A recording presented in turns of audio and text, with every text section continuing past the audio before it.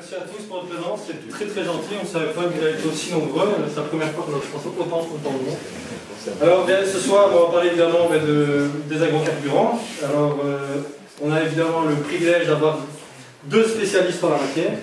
Alors il va y avoir donc d'abord euh, une petite présentation de Thibaut Dupuis. Alors Thibaut, il est ingénieur agronome, il est membre du groupe Afrique du SCI depuis deux ans, il est parti au Kenya.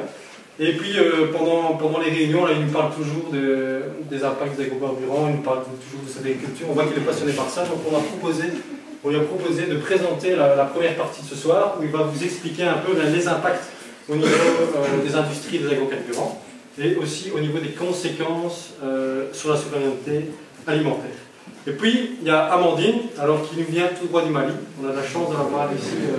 elle revient depuis deux semaines, donc on est très très content d'accueillir aujourd'hui. Elle est bio-ingénieure de formation. Elle a fait un travail de, fin d'études sur la mise en place de méthodes de caractérisation d'agrocarburants, et plus précisément l'huile de Yatrofa. Elle a eu le prix, donc pour son et moi, prix SF, ingénieur sans frontières, et le prix de, la faculté des sciences de l'ULB. Elle est maintenant, grâce à, tout ça, elle est engagée chez GRS. Vous parlait de, GRS et de, cette ONG. Donc elle est engagée chez GRS euh, au Mali en tant que responsable de projet énergie. Et euh, elle travaille justement maintenant sur la mise en place euh, de techniques euh, et de, comment dire, de, production à l'échelle locale d'agrocarburants. Et justement, on veut ici ce soir justement apprendre ben, qu'est-ce que ça apporte aux, cultures locales africaines et si ça a un impact sur, sur, sur, leur économie à eux et voir un peu, un, peu tout ça. Donc voilà, je les remercie encore pour, leur présence et on va, on va laisser la parole à Thibaut qui, qui va lancer le, le débat. Merci encore à tous et n'hésitez pas tantôt pour les, pour les questions. Donc euh, il faudra, ils adorent les, questions, il faudra les bombarder pour qu'on puisse avoir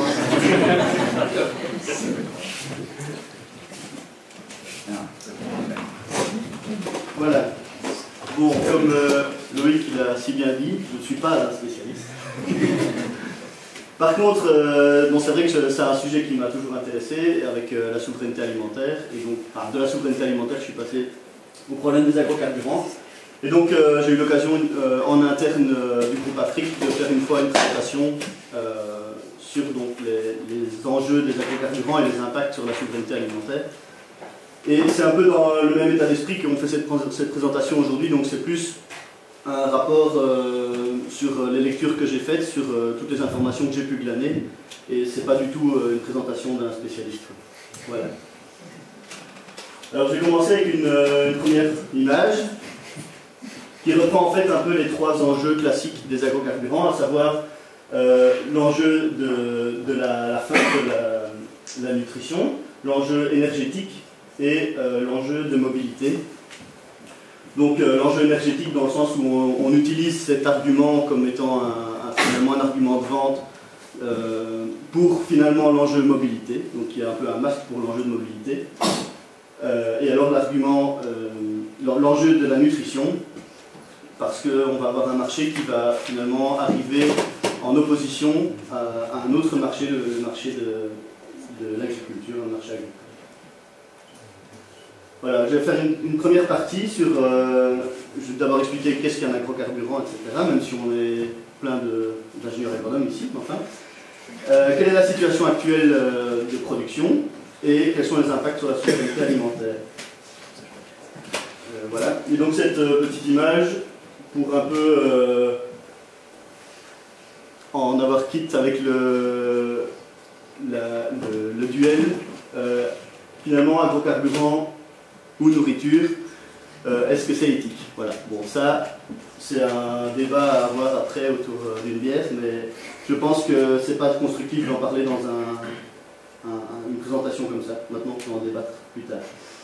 Alors, au niveau du, terme agrocarburant, eh bien, au départ, en anglais, on appelle ça biofuel. Et on a traduit ce terme anglais en français par biocarburant. Le terme biofuel euh, utilise la racine bio simplement pour, pour avoir ce terme vivant, parce qu'on utilise du matériel vivant pour faire du carburant. Le problème, c'est qu'on va avoir en français une, euh, on va confondre avec toute l'industrie du, bio, euh, de l'agriculture bio, etc. Mais ça arrange d'un côté assez bien euh, les, institutions et les industriels qui utilisent encore aujourd'hui ce, terme-là. parce que ça donne une image assez verte. Et donc, en, réaction à ça, on va utiliser à partir de 2004 le terme d'agrocarburant, surtout euh, à l'initiative des ONG qui vont euh, éviter donc comme ça la polémique du bio. Et euh, surtout en France, on va aussi utiliser le terme de carburant vert. Alors un agrocarburant, qu'est-ce que c'est? Eh bien, ce sont toutes des formes de carburant de substitution qui vont être produits à partir de matériaux organiques non fossiles et renouvelables, donc comme le bois, les déchets, les alcools, et ils seront donc brûlés pour produire de l'énergie. Alors on va prendre le cas d'un plan de maïs par exemple. Je vais faire un schéma très simple euh, de secondaire. Le plan de maïs, il va utiliser de l'eau qui va puiser par ses racines avec des éléments minéraux. Il va utiliser la lumière du soleil et il va capter le CO2 de l'atmosphère pour constituer ses réserves d'énergie sous forme d'hydrocarbures et ses tissus euh, de structure.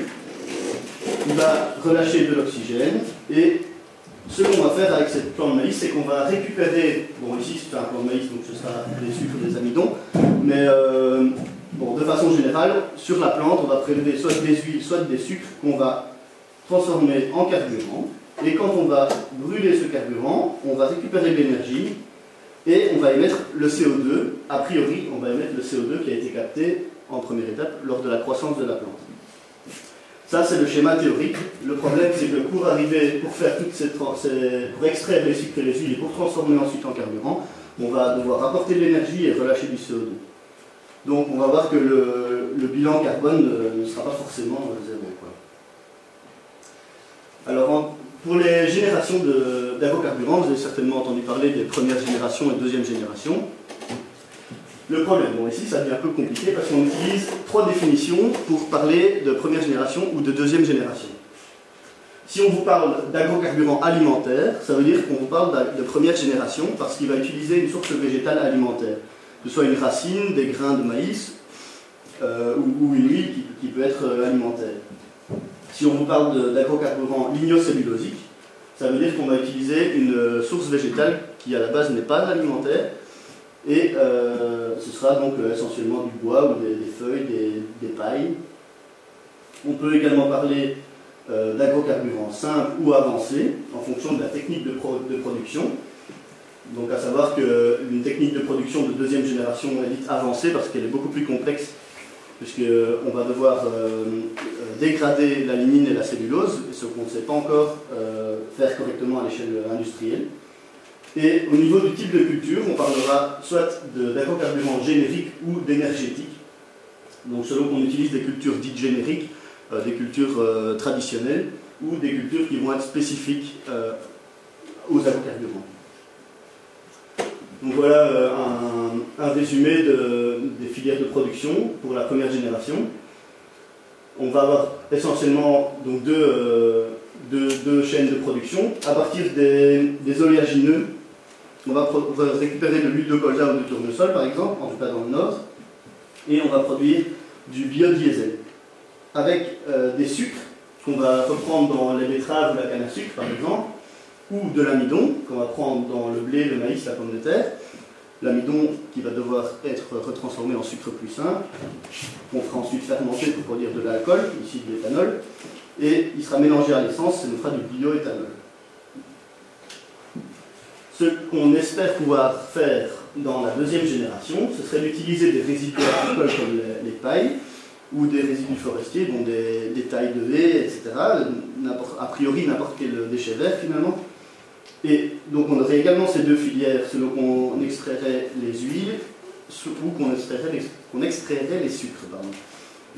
Et on aura donc de nouveau du biodiesel ou du bioéthanol. Alors on a aussi ce qu'on appelle les, les écocarburants de troisième génération. Et là, on utilise des algues. Bon, en fait, on a appelé ça les algocarburants parce que on a toujours appelé ça des algues. Sauf que ce pas des algues, ce sont les cyanobactéries.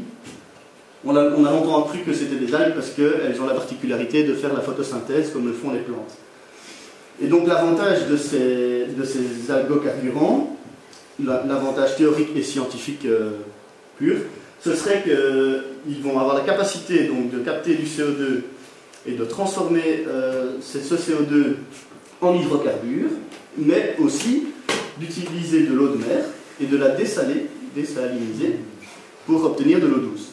Donc il y aurait un avantage double et même un avantage triple parce qu'on pourrait utiliser également les, résidus euh, d'algues, en, notamment en nutrition animale par exemple.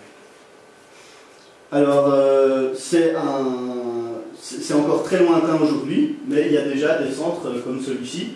Donc on voit quand même la superficie que, ça fait. Et en fait les algues voyagent dans les, dans les espèces de, canaux et elles, sont donc traitées au fur et à mesure de leur parcours. Et pour montrer euh, à quel point on y croit, c'est qu'il y a par exemple eu aux USA 14 euh, millions de dollars pour la recherche euh, sur les algues, en, les algocarburants en 2012, qui viennent s'ajouter à 84 autres millions de dollars, donc ça fait 100 000 dollars, qui ont été investis par l'État dans, dans, la recherche sur les algocarburants. On peut relativiser ça quand on sait que les États-Unis importent du carburant pour 1 milliard de dollars par jour. Donc finalement, c'est pas grand-chose. Et alors on voit que le président Obama, ici c'est un article que j'ai trouvé sur Internet, qui date du 26 mars 2012, il ambitionne de réduire de 17% les importations américaines de pétrole grâce aux agrocarbures. Donc on voit les enjeux. Alors quelles sont les matières premières qu'on va utiliser pour produire les agrocarbures Pour la filière biodiesel et HVP, donc c'est l'huile végétale pure, on va utiliser des végétaux oléagineux. Au nord, ce sera le colza et le tournesol essentiellement. Tandis qu'au sud, on va utiliser du soja, de l'huile de palme, et alors j'ai mis le jatropha, euh, qui, a été, qui est surtout développé en Inde et en Afrique, mais dont Amandine nous parlera plus en détail tout à l'heure. Dans la filière bioéthanol, donc on va utiliser, utiliser des végétaux glucidiques, donc qui contiennent des sucres, au nord, ce sera la betterave, le maïs ou le blé, tandis qu'au sud, ce sera plus la canne à sucre et le manioc. Euh, le manioc essentiellement en Thaïlande, Indonésie, Nigeria. Et alors, on observe aussi à plus petite échelle l'utilisation du ricin, sorgho, arachide, cochon, et encore d'autres euh, types de cultures, mais qui, ne sont pas vraiment utilisés pour les agrocarburants industriels. Alors, comment finalement tout ça euh, a été mis en place? Eh dans un certain contexte au début des années 2000, avec une augmentation du prix des produits pétroliers.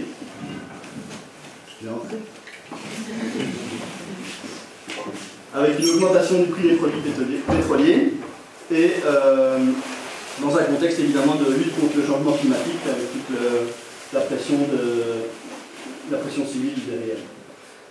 Alors pourquoi les agrocarburants ont été euh, finalement mis en avant par, euh, par les, gouvernements Premièrement, euh, un argument pour diminuer la dépendance au pétrole, donc on l'a encore vu avec les agrocarburants juste avant.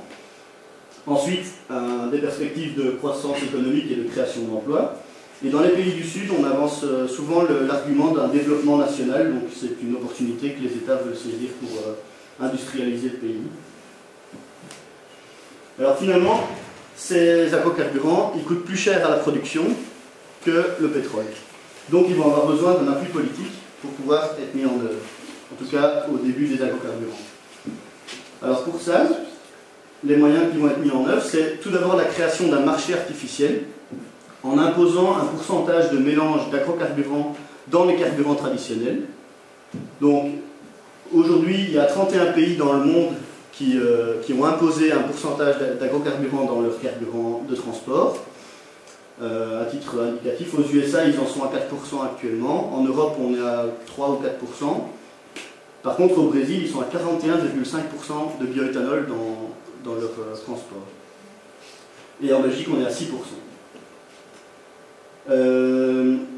Donc il y a cette première euh, mesure. Ensuite, on va appliquer des exemptions de taxes sur les agrocarburants par rapport aux carburants traditionnels. Et alors des subsides à la production. On va favoriser le marché mondial par cette création du marché euh, artificiel. En fait, on va, favoriser ce marché mondial et qui va pouvoir stabiliser les approvisionnements. Et alors quelles vont être les conséquences de tout ça? Ben, C'est qu'en fait, on va relier le marché alimentaire à un marché énergétique. Le problème, c'est que le marché alimentaire, depuis le début des années 2000, était déjà de plus en plus instable. Et alors, on ajoute à ça une, demande massive qui arrive un peu comme un cheveu dans la soupe et qui va encore augmenter les instabilités du marché. On a aussi une ruée des multinationales sur euh, ce nouvel or vert, donc euh, très soudain et très brusque. et on va unir les gros propriétaires terriens du Sud avec ces fameuses multinationales, essentiellement du Nord. Et alors j'ai ici une phrase euh, de l'organisation du grain, qui est une, ONG qui est assez bien renseignée. Et ils disent euh, Les multinationales de cosmétiques vendent du biodiesel, les grosses compagnies pétrolières raflent toutes les plantations, les spéculateurs de Wall Street passent des contrats avec les barons féodaux du, sucre, et tout cet argent qui circule autour du monde est en train de réorganiser et de renforcer les structures transnationales. Donc voilà, en gros, c'est vraiment un gros chamboulement dans les, structures économiques. La production mondiale d'agrocarburants, euh, ça c'est un chiffre de 2009, elle était de 51,78 mégatonnes d'équivalent pétrole, avec 60% qui étaient produits dans le nord et 40% dans le sud. Dans le nord, c'est les USA qui sont les premiers producteurs, ils sont même les premiers producteurs mondiaux, euh, suivis par le Brésil.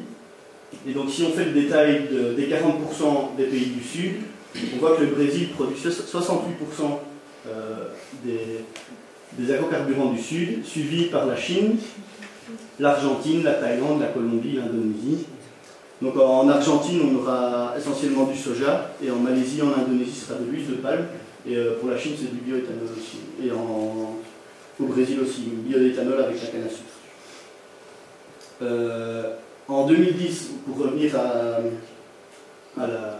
la, production globale, on arrivait à 2,7% de carburant, de, de, les agrocarburants représentaient 2,7% des carburants à l'échelle mondiale euh, en 2010.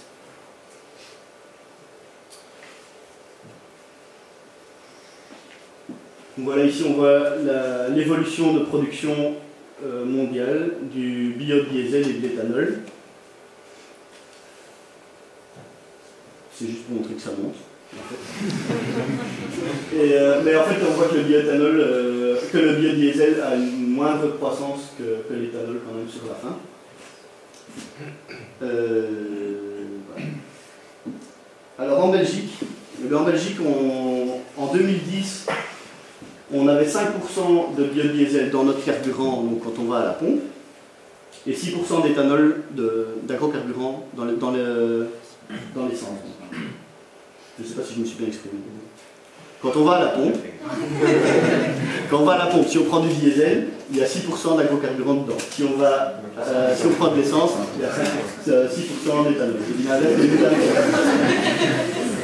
Alors, le schéma ici euh, nous montre qu'il y a une croissance constante dans la production d'agrocarburants en Belgique.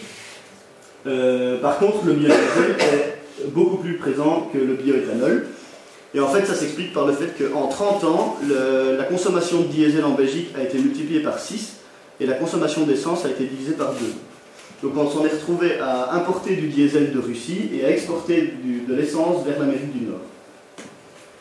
Alors, euh, le marché belge ne va pas être euh, très en adéquation avec tout ce que je vais dire sur euh, le reste du monde aujourd'hui. Parce qu'il se trouve qu'on finalement, il est pas mal. Euh, sur, le plan euh, de la souveraineté alimentaire, etc. On n'est pas trop trop dépendant euh, de l'extérieur, ou en tout cas on se fournit en Europe pour l'essentiel de notre production.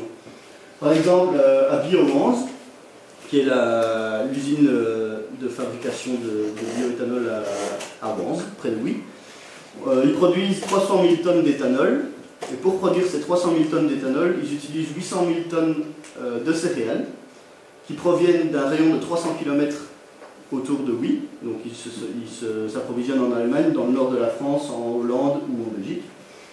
Et 400 euh, 000 tonnes de betteraves qui proviennent toutes euh, de Belgique et qui sont uniquement des excédents euh, qui sont hors quota, des excédents de production. Alors voilà, la situation réelle, c'est que la production du Nord, soit se fait avec des matières premières du Sud, donc excepté la Belgique, c'est pas le cas, mais bon, c'est pas le cas d'autres pays certainement, mais de façon générale. Ou alors, c'est une production du Sud, donc avec des matières premières du Sud qui, sont transformées sur place, mais qui vont être consommées au Nord, parce qu'il se trouve que le Nord consomme déjà plus d'agrocarburants qu'il n'en produit. Donc je travaille au Mali, comme l'a explicité euh, Loïc, pour l'ONG française GERES, qui est une ONG française qui euh, met en œuvre des projets euh, dans le cadre de l'accès à l'énergie et de l'efficacité énergétique. Dans le cadre de ces activités, au Mali et au Bénin, elle met en place, en partenariat avec un bureau d'études français, l'IRAM, euh, elle vise à mettre en place une filière agrocarburant de proximité, ce qu'on appellerait plus communément une filière courte, une filière locale, à partir d'une plante euh, jatropha. On va revenir là-dessus par la suite. Dans l'objectif final de faciliter l'accès à l'énergie. Et ce projet pour lequel je travaille s'insère dans un programme plus global ouest-africain, le réseau, enfin, le programme JATROREF, qui vise à développer des référentiels techniques et socio-économiques de ces filières d'accès à l'énergie à partir du JATROFA. Je vais vous proposer donc, de nous focaliser donc, sur les référentiels que nous, projet avec le GRS, on, commence à créer euh, au Mali et de, peu vous présenter ce qu'est une filière locale en fait, euh, Mais avant tout, vous, un vous présenter le jatropha, on l'a vu dans la vidéo. Donc le jatropha est en fait un arbuste pérenne, c'est pas une plante annuelle. C'est un arbre qui est traditionnellement utilisé au Mali en pourtour des champs comme barrière de protection, que ce soit contre l'érosion ou contre la transhumance euh, des troupeaux.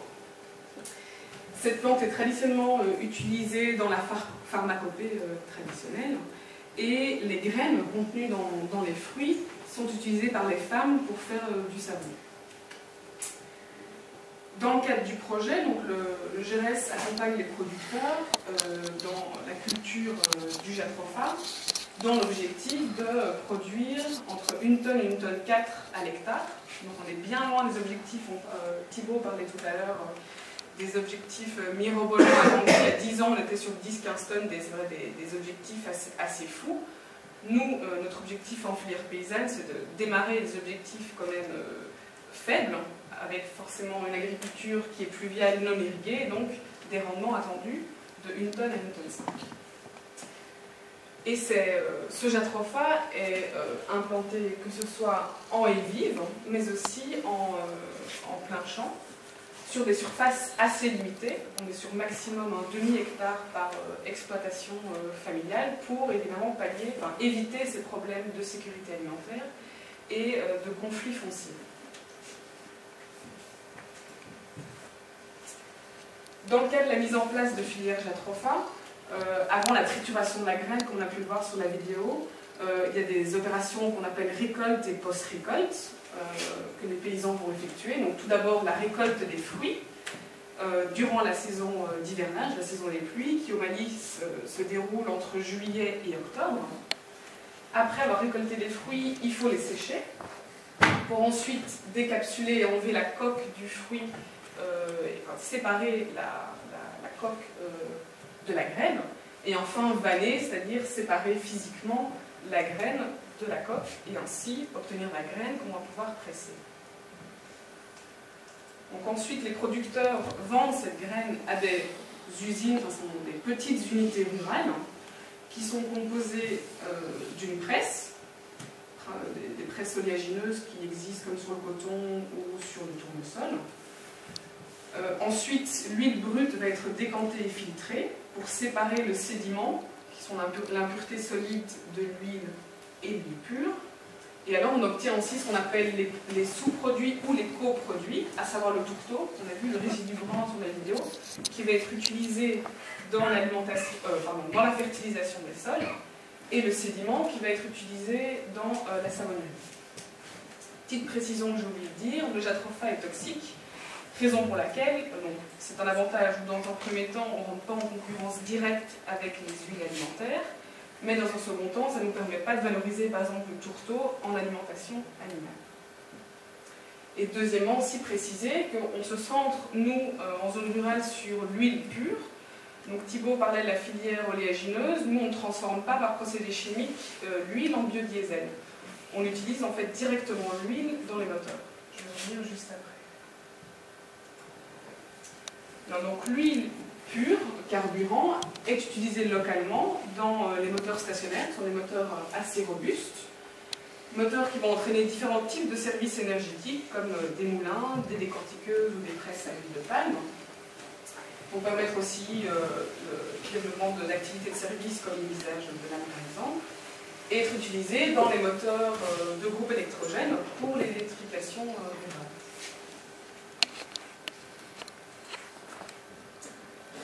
D'un point de vue théorique, le, dessin n'est pas très joli, mais un simple schéma parfois fait l'affaire. Donc, euh, pour d'abord créer une filière courte, il faut évidemment être sur un territoire géographique restreint. Donc, nous au Mali, mais au Bénin aussi, on travaille enfin, uniquement à l'échelle communale, euh, sur une superficie d'environ d'un rayon de 20 km, euh, un rayon de 20 km. Ensuite, on travaille avec les producteurs de la zone, pas du tout, c'est pas nous qui plantons, on incite les producteurs à planter le jardin. Producteurs qui font déjà, comme on l'expliquait, de la, poly, euh. Ces producteurs produisent le jatropha et euh, le vendent à une unité euh, de transformation locale qui centralise la production de ce bassin de production. Cette unité d'extraction, l'objectif c'est qu'elle soit menée par un entrepreneur issu tissu local et entreprise qui sera en fait l'interface, le maillon entre la production et l'utilisation. Donc une fois l'extraction de l'huile réalisée, cette huile est vendue aux services énergétiques locaux, à savoir les moulins, les rétortiqueuses, etc., ou un opérateur privé d'électrification rurale déjà. Seul ONG a incité directement les producteurs. Il y a clairement un travail euh, euh, proche avec les autorités euh, publiques, locales et nationales pour qu'à terme, puisque nous, à terme, évidemment, le, projet ne sera plus là, euh, post-2015, c'est que ces structures soient elles-mêmes régulatrices de, euh, de, toutes, euh, de toutes ces filières. Et ensuite, l'objectif, c'est d'intégrer toutes les parties pour qu'il y ait une fixation du prix de la graine et de l'huile qui soit commune et acceptée par tous, et qu'ils décident eux-mêmes des objectifs de plantation et de production d'huile. Alors ici, j'ai fait un petit tableau comparatif pour dire les filières paysannes, donc intégrer les agrocarburants dans les filières paysannes, c'est pas du tout faire de l'agro-business. Donc j'ai essayé un peu de, démarquer les, points, euh, les points importants. Donc une filière paysanne, c'est avant tout une filière courte locale, à contrario d'une filière industrielle d'exportation. On travaille sur des surfaces très, très limitées par rapport à euh, des industriels qui travaillent sur des limites, plus de 10 000 hectares. Il n'y a aucune irrigation, on travaille sur euh, la pluviométrie locale par rapport au système de pompage d'irrigation dans le système industriel. On est dans la polyagriculture, en comparaison aux cultures intensives de monoculture. Il y a très peu de transport, forcément si on travaille sur une zone géographique restreinte, tout est local.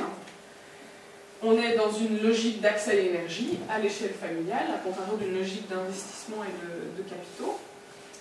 On intègre, comme je l'ai expliqué, ce système à l'exploitation paysanne existante. Et enfin, le, discours du GRS, c'est de dire que cette filière renforce en fait la sécurité alimentaire comme expliqué les différents points jusqu'à maintenant. Bien sûr, notre modèle n'est pas non plus euh, rose, hein. certaines limites et contraintes.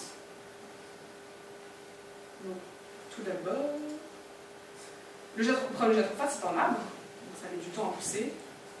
Une, entrée en production qui est très lente, en fait, j'ai oublié de le spécifier, le jatropha met 6 à 7 ans avant de rentrer en pleine production de, des fruits. Donc c'est un temps d'implantation qui est très long, et même si on table sur des objectifs faibles de rendement, il y a quand même certaines incertitudes, parce que le temps, on a implanté notre, premier, notre Jatropha en 2008, avec tout un système de suivi d'évaluation pour contrôler le rendement. On est aujourd'hui en 2012, on n'est clairement pas encore au pic de production. Euh, comme on est sur un temps de croissance long, il y a beaucoup aussi d'appuis conséquents sur tous les itinéraires techniques, que ce soit la taille, euh, le sarclage, etc durant toute cette phase d'entrée en production. Et en plus, on ne se facilite pas la tâche, on crée une filière, créer une filière n'est pas possible, enfin c'est pas facile, hein, et on est sur l'innovation. Donc c'est coûteux, donc il faut clairement des, euh, des, subventions. Et ça compromet aussi la réplicabilité du modèle que nous on veut créer. On veut créer des référentiels pour dupliquer le modèle ailleurs, mais s'il faut beaucoup d'argent de subvention, ça compromet, euh, on ne pourra pas forcément dupliquer ce modèle dans, euh, dans tous les cas. Néanmoins, il y a quand même des bonnes perspectives, puisque grâce euh, au projet, on commence à lever pas mal de boulot techniques, que ce soit en termes d'extraction d'huile euh, ou d'utilisation de l'huile dans les moteurs. Euh, on constate un fort intérêt des acteurs locaux pour la démarche locale, que ce soit les producteurs, les investisseurs locaux ou les clients potentiels qui font face à l'augmentation du prix du gasoil. On a même des structures nationales qui se créent, comme au Mali, l'Agence nationale de développement des biocarburants, les institutions locales sont euh, bien évidemment intéressées, ainsi que les groupements les, groupements de défense des petits producteurs.